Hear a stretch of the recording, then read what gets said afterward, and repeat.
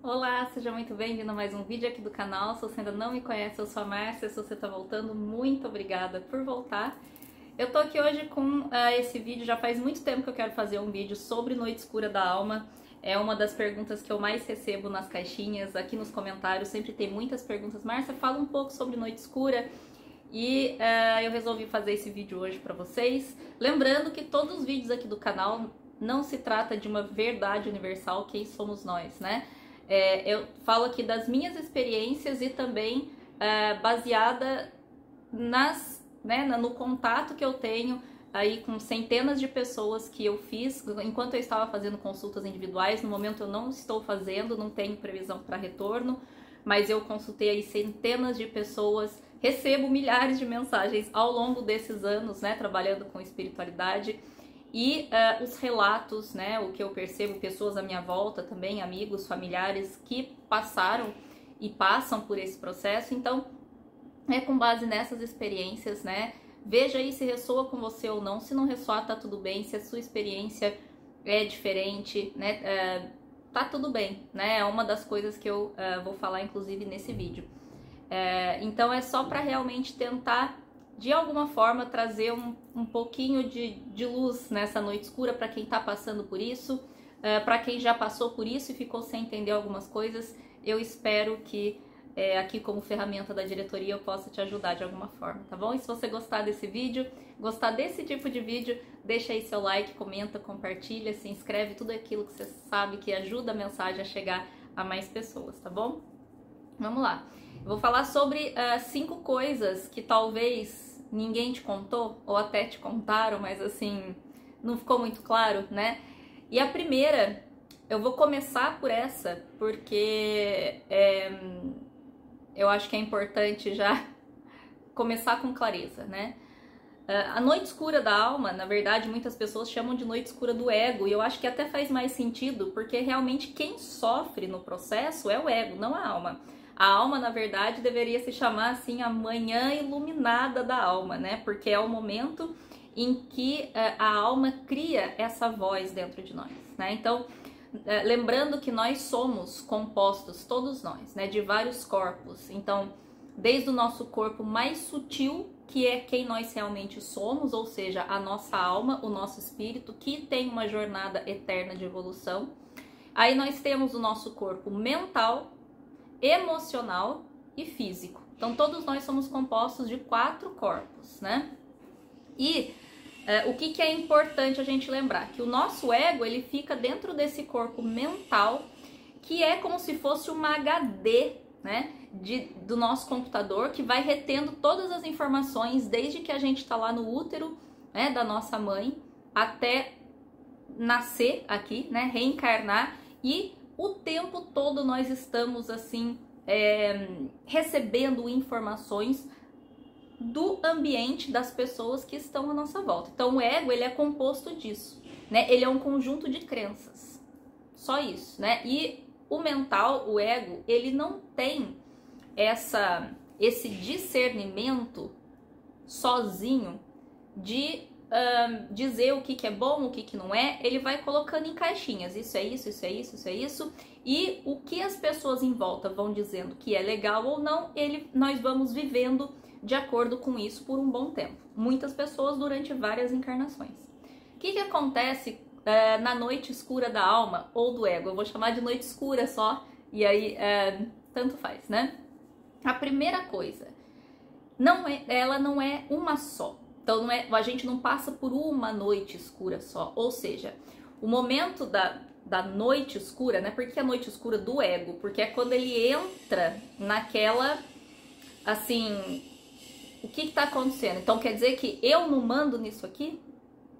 Quer dizer que é, eu tenho feito tudo isso de acordo com o que eu aprendi, de acordo com o que a sociedade espera de mim, mas eu não tô feliz, por que, que eu não tô feliz? Então é quando nós entramos num questionamento profundo. Essa é a noite escura. E esse questionamento pode levar para um estado assim até depressivo realmente, né? É, parece muito com uma depressão. E aí, e aí, eu vou falar sobre isso depois, a gente tem que ter muito cuidado para distinguir uma coisa com a outra, porque depressão é um quadro clínico extremamente sério que precisa de cuidados, né? É, aqui de médicos, né, uh, curadores físicos aqui. Então, assim, a noite escura, ela não acontece em um momento, né? Então, não, quem tá passando, meu Deus, não é possível que fora isso ainda tem mais, né? Por quê? Porque o despertar de consciência, eu já fiz vídeo falando sobre isso, vou deixar aqui no quadradinho para vocês, ele acontece em várias etapas, em várias fases, né? E dentro de cada fase, muitas vezes nós subimos novos degraus. Então eu tô ali, por exemplo, dentro do, do meu despertar espiritual, né? Falando da minha experiência. É, eu, quando eu comecei, eu, quer dizer, eu, eu sou uh, médium ostensiva desde criança, passei anos da minha vida assim em negação, não queria desenvolver, até que depois que a minha mãe desencarnou, uh, os canais se abriram de uma forma que eu fui buscar ajuda para ela, na verdade, porque a gente se comunicava todos os dias e, e, na verdade eu precisava muito mais de ajuda do que ela, né? É, então, assim, isso foi com 35 anos, né? Então, assim, eu passei todo esse tempo, adolescência, tendo vários problemas de saúde, inclusive, né, inexplicáveis, e tudo conta da, da mediunidade, porque eu não tive nada disso depois que eu desenvolvi, né? Então hoje em dia eu sei que foi a mediunidade. E aí, esse, essa primeira noite escura, na verdade, começou não com o despertar espiritual, começou com o despertar de consciência, que geralmente é como começa, e a gente nem identifica muito bem, que é quando a gente começa a não se sentir pertencente mais àquele cenário, àquela vida em que o ego nos colocou. Então, aquilo que esperavam da gente, aquele emprego, aquela carreira que eu escolhi, porque era financeiramente estável, porque meus pais queriam, porque era o que tinha para hoje. Uh, tudo isso eu começo a, a, sentir uma infelicidade, um vazio profundo, né? Então eu não me encaixo mais naquele trabalho, naquela família, naquele relacionamento, naquele grupo de amigos. E isso, esse processo pode levar anos e já é uma noite escura. Então já começou ali né? O seu ego lutar contra aquela vozinha do eu sou, né? Do meu corpo mais sutil, da minha alma, que encontrou um espaço ali para falar: olha, é importante tudo isso que você viveu, viveu até agora, maravilha, você nasceu onde nasceu porque precisava de tudo isso, mas agora sim, vamos lembrar para que veio?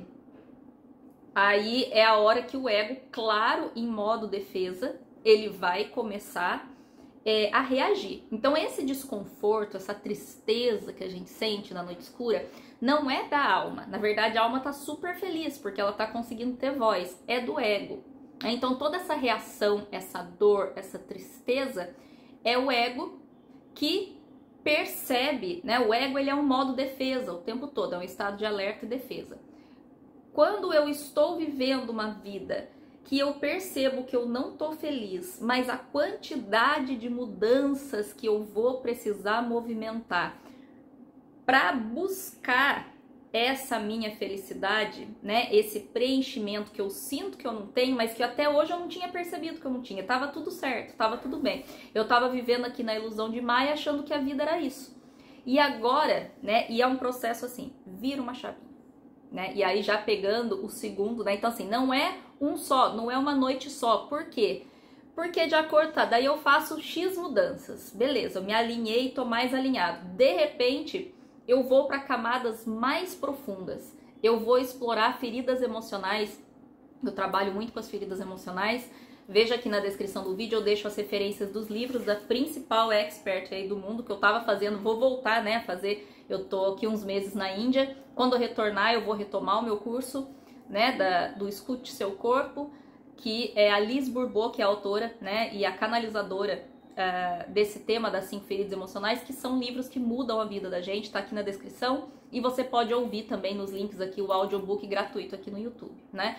Então, de acordo com o que eu vou avançando, então eu vou ali, né, brigando com o ego, digamos assim, no, no bom sentido, não que o ego seja um vilão, claro que não, ele é necessário para cada encarnação, mas eu vou deixando a alma falar mais alto e tomar espaço e eu vou ouvindo mais o meu coração do que a minha mente. Cada vez que eu me deparo com uma grande crença limitante ou com uma grande ferida emocional, eu mergulho novamente nessa noite escura. Então, por isso que não é uma só. É por isso que não é uma só. E, uh, né, o, o segundo, né, pegando esse gancho, Uh, o segundo passo é que assim, não existe uma igual a outra. Então, de repente, às vezes os vídeos no YouTube ajudam a gente a entender fases para dar aquela clareada, mas não compare nunca o seu processo com o outro. Né? Nunca faça isso. Não compare o seu processo com o outro. Por quê? Os processos são muito diferentes. Como eu falei, desde dar aquele clique, né? De o que aconteceu que eu tô nesse casamento e agora de repente eu não tô mais feliz aqui. E aí eu vou à missa e eu escuto o padre falando e o que ele fala não faz sentido mais. Eu começo a questionar um monte de coisa. Eu não tô feliz nesse trabalho.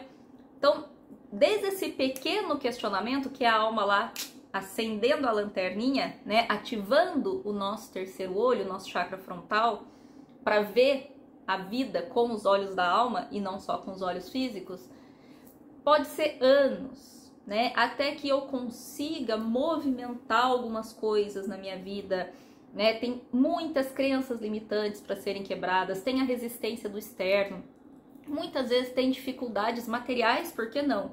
Né? Se eu tô num relacionamento, num emprego, é, eu comecei a, a assim não me sentir bem né no meu trabalho e depois no meu relacionamento uh, e eu comecei a perceber que não era aquilo que eu queria para minha vida e tinha uma coisa é, é uma é uma força me contem nos comentários para vocês também mas para mim é, eu, eu não sei né assim, hoje em dia eu percebo que foi um processo espiritual então eu sei que o meu eu superior né nós somos centelha divina, então nós temos uma força estrondosa dentro de nós que nós duvidamos dela. Quando a gente dá a abertura, que é o salto de fé, a gente tem uma força para fazer coisas, né? Assim, eu me divorciei, mudei, uh, depois decidi mudar de carreira, de país, né? Em um ano e meio, assim. Então, eu não sei, eu fiz tudo tão rápido, organizei tão rápido. Em quatro meses e meio eu me mudei de país para uma outra carreira, né? E assim, mas eu lembro do momento exato, voltando de umas férias, que eu fui para os Estados Unidos porque eu já estava dando uma pesquisada, porque eu queria me mudar para lá, mas achava que seria uma coisa assim de dois anos para conseguir me organizar e tudo, né? E eu lembro do exato momento, sentada no avião, olhando assim para a janela, e eu triste, né, de, de voltar para o Brasil, voltar para aquele emprego depois das férias que eu não queria mais e falando assim, olha, eu tenho certeza que é isso que eu tenho que fazer. Como eu vou fazer, assim, eu não sei, Deus, mas assim, é, é isso que eu quero, eu tenho certeza e é, eu tô pronta. A partir daí foram quatro meses e meio para vender tudo que eu tinha é, e fazer uma mudança gigantesca na minha vida. Então, é, o processo, né, ele e naquele momento eu não me sentia numa noite escura, na verdade, porque eu não tava depressiva, eu não tava nada disso. Foi difícil para terminar o relacionamento, depois sim, é, o, eu, era um emprego muito bom, um salário muito bom, uma carreira extremamente estável. Eu pedi demissão no dia que eu ia ser promovida.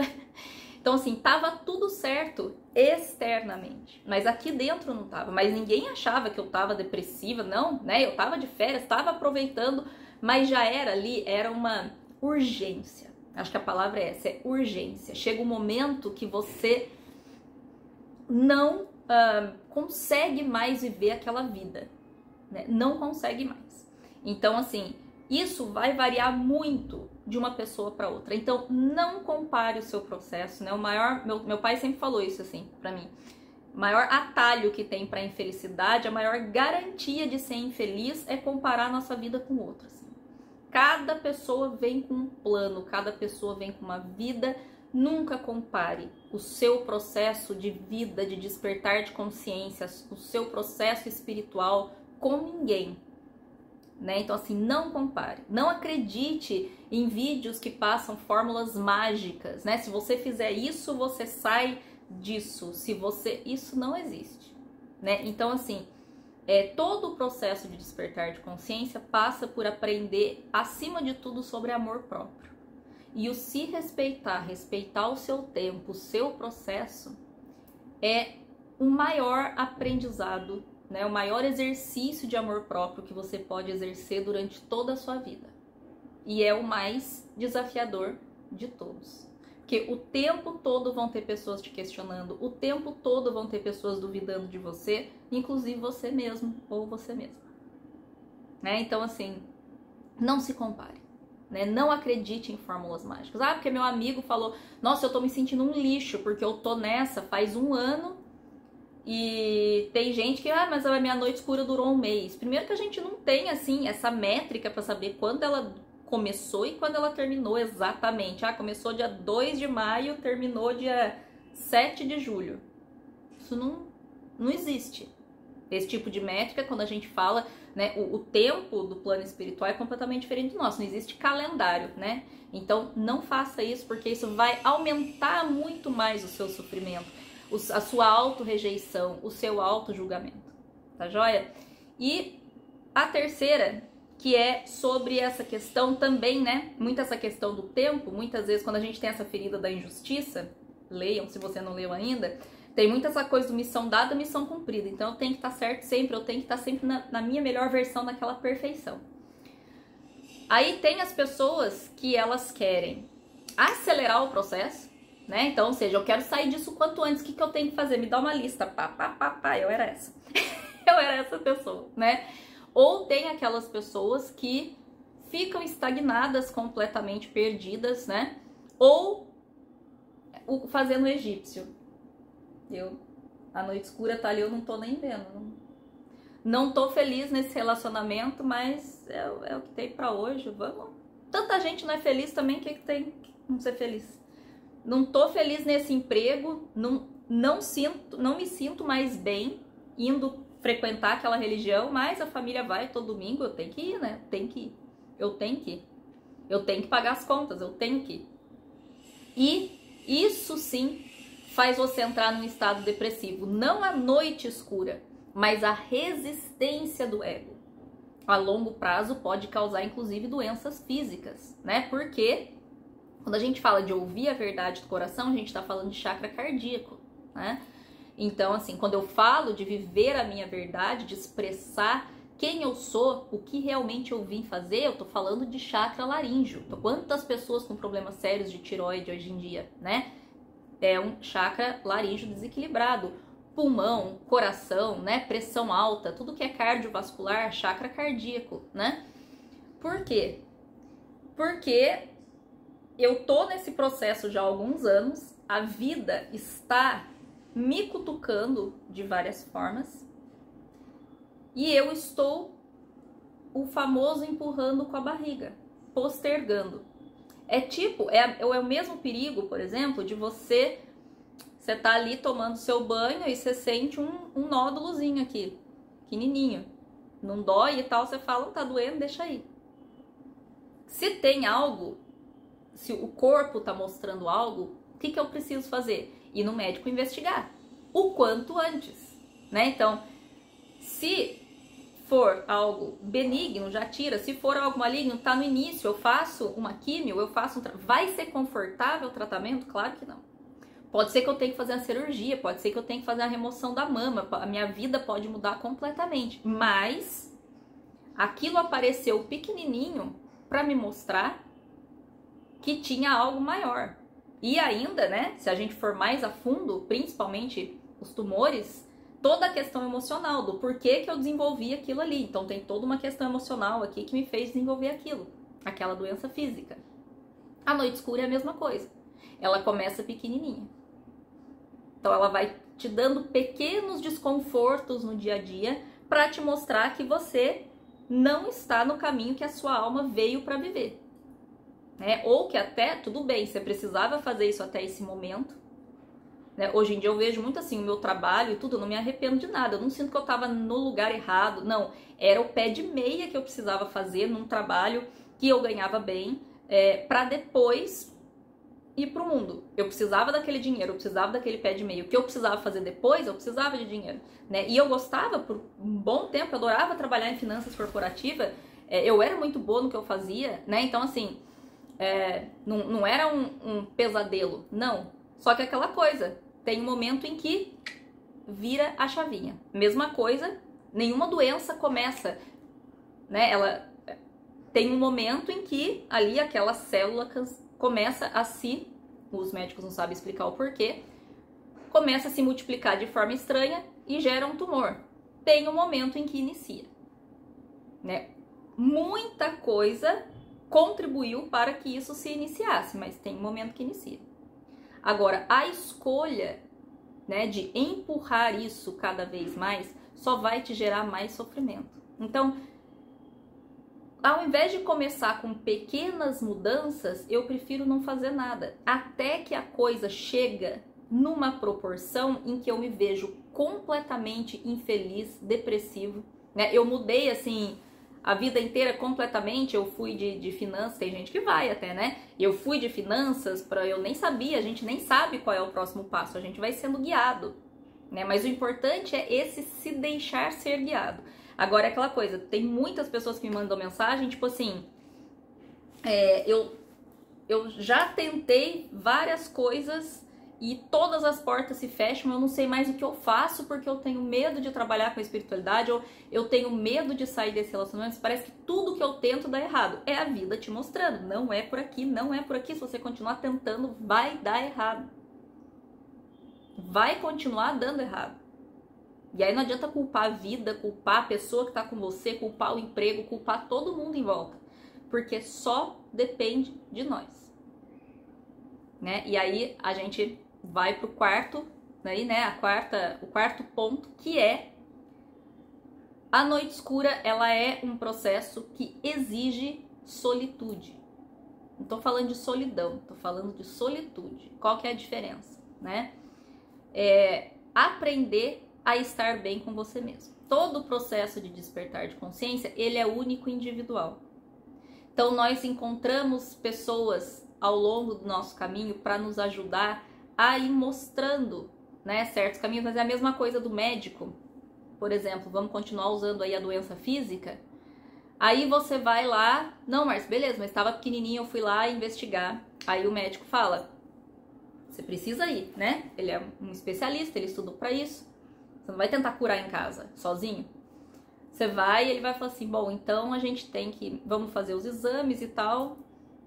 Tem que fazer uma biópsias. Ah, não, tem medo de agulha, não vou fazer biópsia.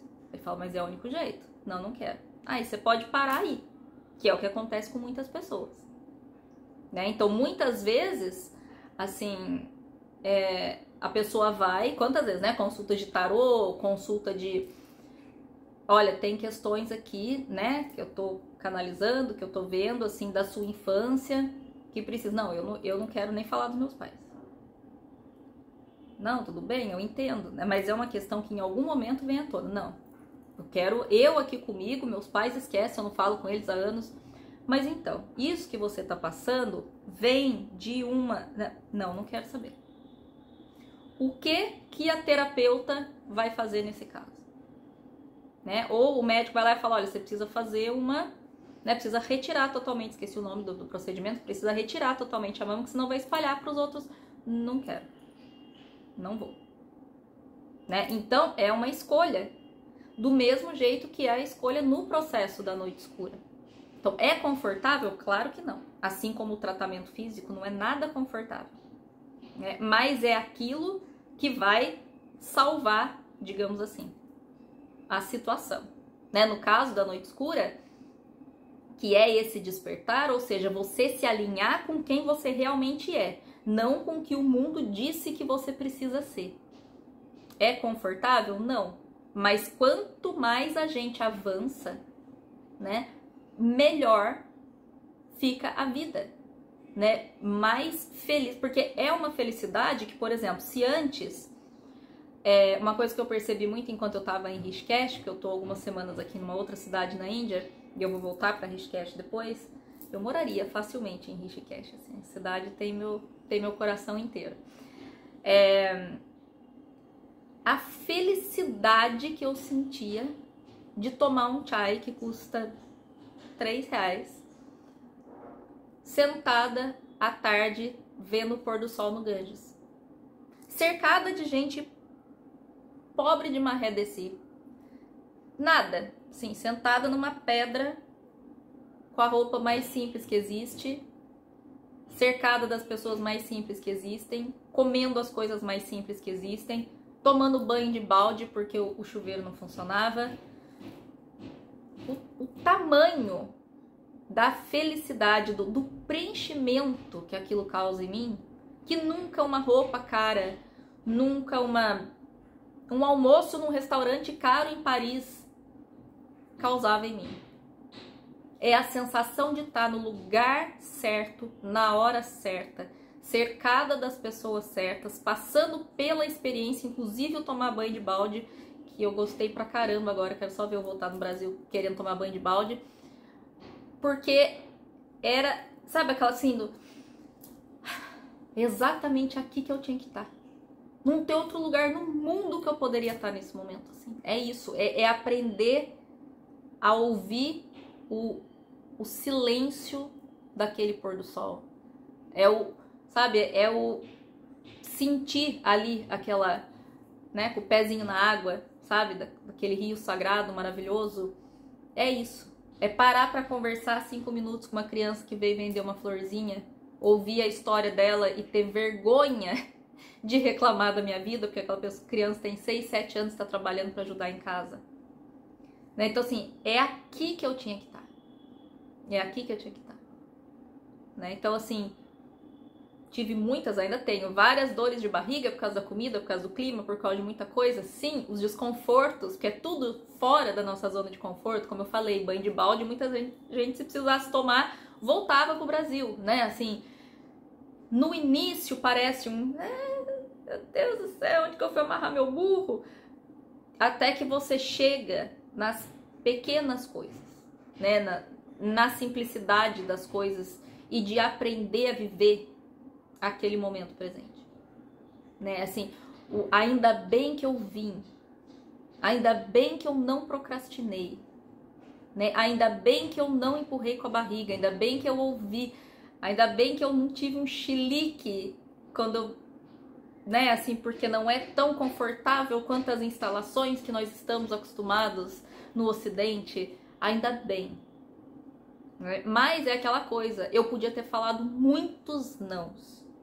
Muitos nãos. Né? E aquele vazio iria continuar dentro de mim.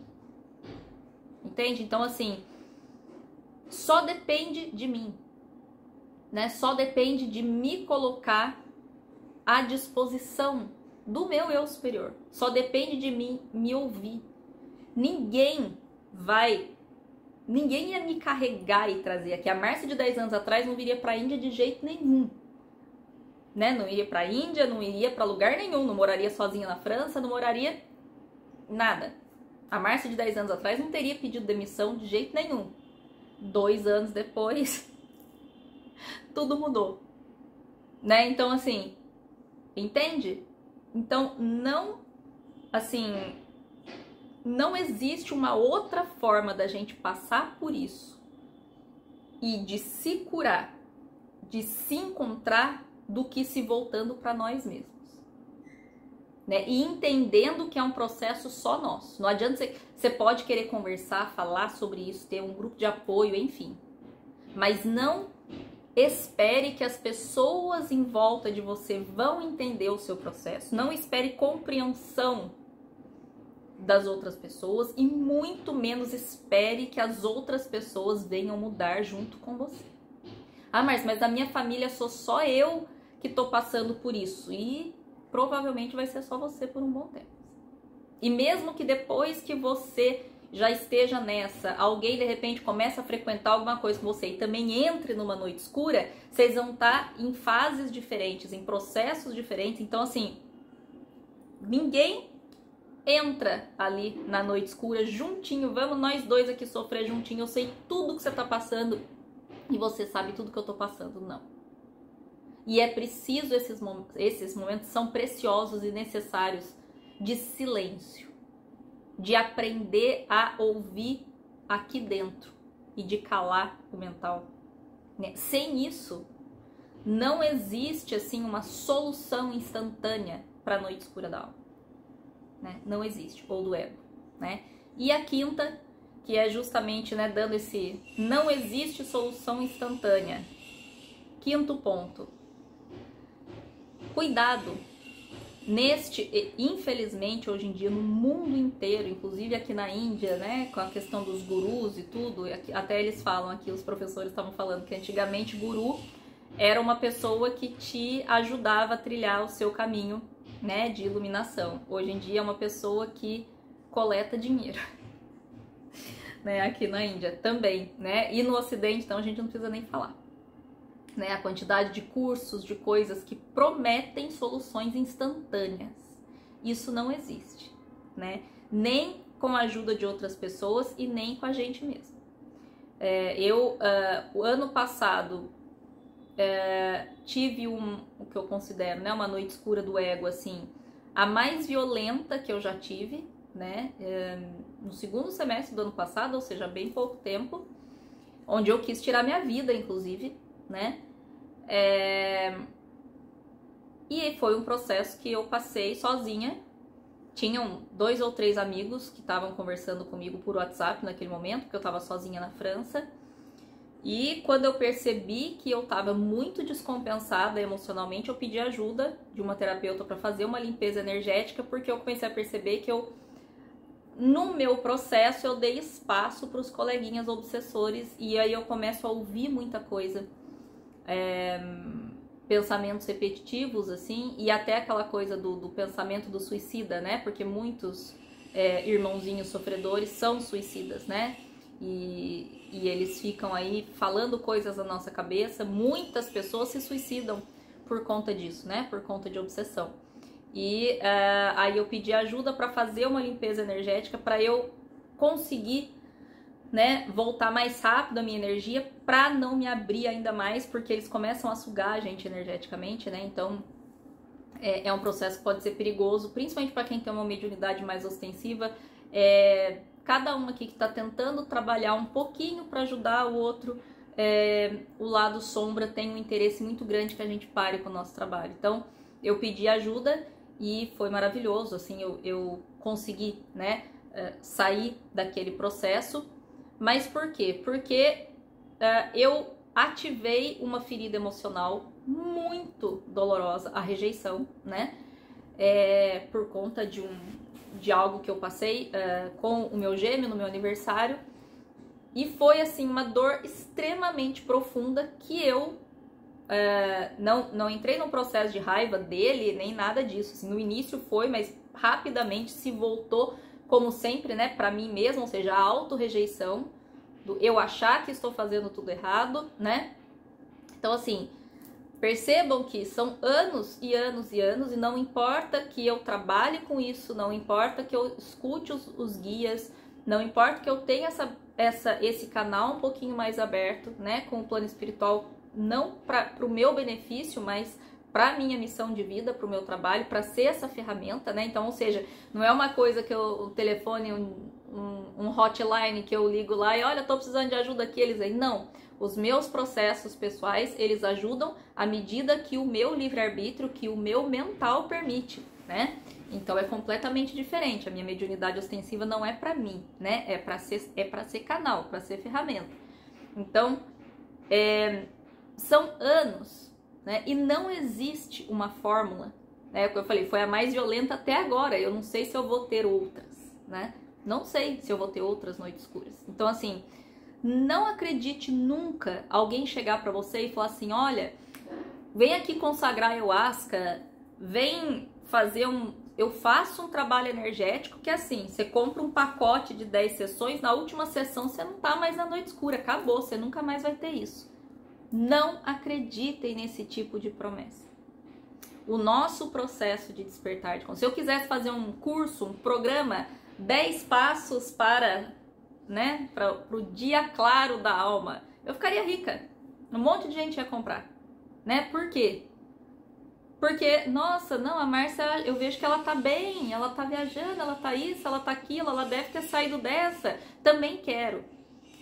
Né? O marketing funciona assim, né? O mar... Aqui, da 3D, o despertar, o processo de despertar, de expansão de consciência, ele é para a vida toda, ele é contínuo, o que não quer dizer que a gente vai ter sintomas de noite escura a vida toda, né? É, então, assim, isso não existe. E Se você tá nessa há um bom tempo e tá entrando nesse estado de desespero até de querer sair disso e de repente começar a acreditar nesse tipo de promessas, é importante sim que você busque um profissional da saúde, né? De preferência, é, um psicólogo, tem vários, né? Eu vou deixar aqui na descrição do vídeo alguns contatos de psicólogos é, que trabalham de forma que são terapeutas mais integrativos, né? Então, ou seja, eles também consideram toda a questão espiritual que infelizmente ainda muitos profissionais da saúde não consideram, né? Então, psicólogos que podem inclusive te encaminhar para psiquiatras que consideram toda essa questão, né, que vão respeitar o seu processo e entender que tem coisas que fazem parte ali da sua expansão de consciência, do seu processo e que não pode acelerar e muito menos te dar remédio, né, para deixar você é uma das coisas que mais atrapalha o processo de expansão de consciência são os antidepressivos, né? Por quê? Você vai no médico que não tem, que não considera, né, toda essa, que não te olha de uma forma mais holística, vai só pela ciência, ou seja, ele vai desconsiderar, lembra dos quatro corpos? Ele vai desconsiderar completamente o seu corpo mais sutil. E ele vai tratar do físico, do mental e do emocional. Sendo que a noite escura é o que? É esse sutil falando mais alto. Ou seja, ele vai te dar antidepressivos, vai te dar remédios que vai fazer com que você fique mais dopado e que você se desconecte completamente dessa comunicação com seu eu superior. Quer dizer que não pode nunca tomar o antidepressivo? Tem casos que precisa, uma questão química. Aí não é noite escura. Entende? Não é. Né? Então, assim, depressão clínica, né? Casos de, por exemplo, alteração química do cérebro não é noite escura né? Então, assim, isso é bem importante. Ah, mas como é que eu sei? Autoconhecimento. Não, mais uma vez, não tem atalho, né? Então, assim, você, em primeiro lugar, busque se voltar para dentro, se conhecer, leia, né? Assim, livros, se informe, entenda se é um chamado realmente ou se de repente assim, não, eu tô feliz com as outras coisas, mas eu não tenho energia para nada, né? É, eu, eu gosto do meu emprego, eu gosto disso, eu gosto daquilo, mas eu não tenho energia, eu, uh, eu tô com fobia social, né? Assim, uh, mas eu, eu não tô triste, eu simplesmente não quero estar com outras pessoas, né? Então, isso pode ser quadros clínicos depressivos ou a personalidade, né? Muitas vezes a questão da solitude, que é diferente de uma noite escura. Né? E também assim, uma noite escura em que você tá há anos, por exemplo, né? Muitas noites escuras começam com términos de relacionamento. Você tá há anos obcecado por uma pessoa. Aí, ainda para ajudar agora com a questão da chama gêmeas, tem gente que daí já. Não, mas é assim mesmo o processo. É para eu estar tá há anos esperando uma pessoa porque é a minha chama gêmea. Isso não é chama gêmea. Processo que você fica anos esperando uma pessoa voltar não é chama gêmea. Né? Não é chama gêmea, de jeito nenhum. Não existe esse período de anos de espera num processo de chama gêmeas. Né? Os percursos longos, eles são. O divino feminino vive a vida dele e toca a vida dele sem esperar ninguém. Né? Então, assim, não. Então, se você tá dessa forma, isso não é uh, uma noite escura da alma mais. Isso é um quadro depressivo que precisa de ajuda clínica. Né? Então, assim, eu vou deixar alguns contatos, como eu disse aqui na descrição, né, da Natália, da Carol, uh, e aí vocês entrem em contato caso você esteja na dúvida se realmente se trata de uma noite escura ou se já vem durando tempo demais e pode inclusive afetar a sua saúde física, porque todos os corpos estão conectados. Né? Então, assim, se eu começo a ir completamente contra aquilo que a minha alma veio para fazer, eu começo a gerar um desequilíbrio no meu chakra tão grande que eu vou começar a, a cristalizar, né, materializar essa energia negativa nos órgãos que fazem aí parte desse complexo. Tem um, uma playlist inteira que eu fiz sobre os chakras, eu vou deixar para vocês nos quadradinhos sinais. Eu vou começar a prejudicar esses órgãos por conta do desequilíbrio energético. Então isso vai reverberar no físico, né? Porque já passou pelo mental, ou seja, eu tô brigando mentalmente, no emocional eu tô infeliz, a última camada é o corpo físico. Então, se você tá brigando, procrastinando contra essa noite escura há muito tempo, isso pode gerar, inclusive, é, problemas de saúde física. Tá? Então, assim, é, não existe atalho. É um processo que pra gente aqui se durar 20, 30 anos, fala, noite escura não dura tudo isso, né? Ela é uma fase, a gente passa por uma, por uma um próximo nível de expansão, fica um tempo ali naquilo, quando vem uma nova limpeza, né, uma nova camada, um novo nível de expansão, a gente costuma ter um ali de novo, dá um mergulhinho na noite escura e sai né? Por exemplo, essa que eu falei para vocês do ano passado que foi violenta, foram dias, né? E aí eu já por e cada vez que nós passamos, elas vão ficando cada vez mais curtas. Então a primeira dura mais tempo, a gente demora muito tempo para entender até o que está acontecendo. Depois que a gente já tá nessa caminhada espiritual, nessa busca, elas começam a se tornar né, mais espaçadas e mais curtas. Porque quanto mais equilíbrio a gente tem entre o espiritual e o material, menores são as oscilações, né? Porque a gente vai aprendendo a equilibrar é, a matéria e o espírito, tá joia? Queria que ficasse curto, mas não foi possível. Mas eu espero que tenha ajudado de alguma forma esse vídeo. Se você gostou, deixa seu likezinho, comenta, compartilha e eu vejo você no próximo vídeo. Um beijo. Tchau, tchau.